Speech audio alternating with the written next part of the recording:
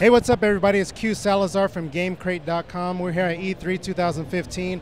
I am at the Maximum Games booth, and I just played a new game called Loading Human, which is a virtual reality game that is going to be coming out on Project Morpheus, uh, the Valve set, Oculus. I'm here with one of the developers of the game, Flavio Parenti. How's it going, man? Oh, it's going good. really so, can good. you tell us a little bit about Loading Human, what it's all about? Sure.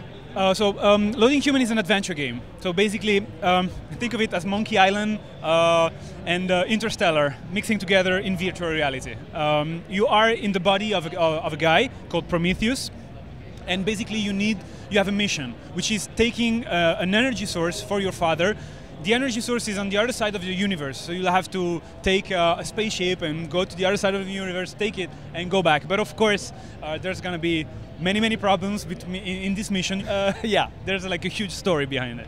So in the part that I played, I was in a house. I had to shut down a window. Yes. Because of a, a magnetic storm. A magnetic storm. What's, what's going on there? So basically, uh, in this uh, the setup in this world of loading human, it's set up in the 2185 and uh, Earth has problems. Um, humanity is relying on a new type of energy. Uh, it's the dark energy, and uh, this is making troubles in the magnetic fields of the Earth. Um, and you have magnetic storms coming up.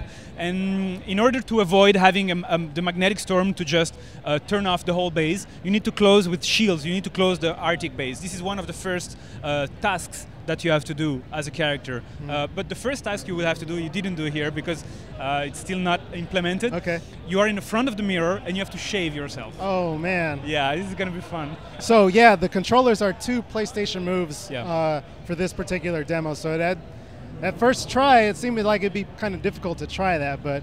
Well, I guess it, it just takes some time. Yes, yeah. as soon as you get accustomed to it, you, you, you don't go back. Whenever yeah. you, if you take because you really in virtual reality you really want to like lean forward and take things mm. because you have this sense of death. So the, the next step, natural step in controlling controlling virtual reality is having something that you can actually move in virtual reality, and this is your body. So you want to see your hands and move your hands. It's, it feels so natural after a couple of minutes of playing uh, of gameplay. And yeah. Uh, yeah, so I think it's the future, and that's why when we started Kickstarter two years ago, we were one of the few thinking that motion controllers would actually be used in virtual reality.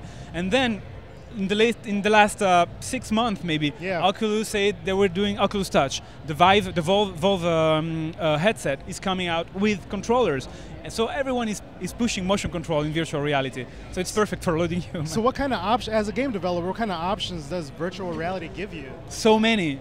Thing is, what kind of uh, what you, you need to shape the design around virtual reality.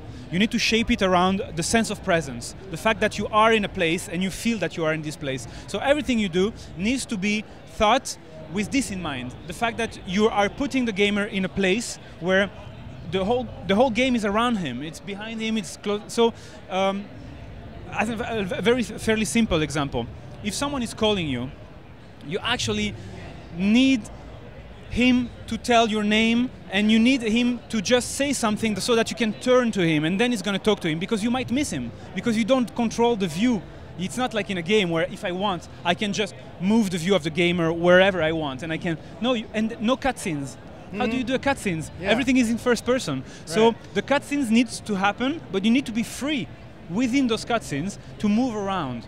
So it's um, you, it's it's an, it's a paradigm shift, a lot of things are changing in, in when you do a game in virtual reality, but it's so it's so amazing. I mean, you okay. know, there's so many po possibilities. I okay, okay. So finally, when is Loading Human coming out? So uh, we're aiming for quarter one, 2016. Okay. Which is basically the date when the headsets are going to come out. Okay. That's basically because still, you know, preci no precise dates, but that's where we're aiming. Okay. Well, that's all we have today for Maximum Games. Loading Human. Check it out. Check for it next year. Thank you, Flavio. Thank you. Appreciate it.